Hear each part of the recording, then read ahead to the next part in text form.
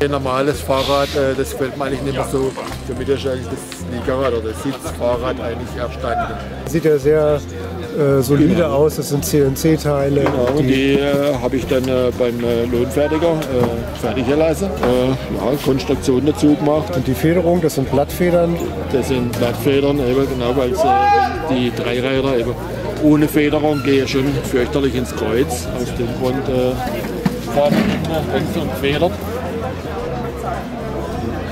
Und der Antrieb, Der Antrieb eben äh, Elektro, äh, aber das ist ein Kardanantrieb vorne. ist ein. Kardanantrieb äh, im, im, im Hauptrohr drin, damit die Kette und damit es auch von der Länge einstellbar ist verschieden, für verschiedene Fußlängen.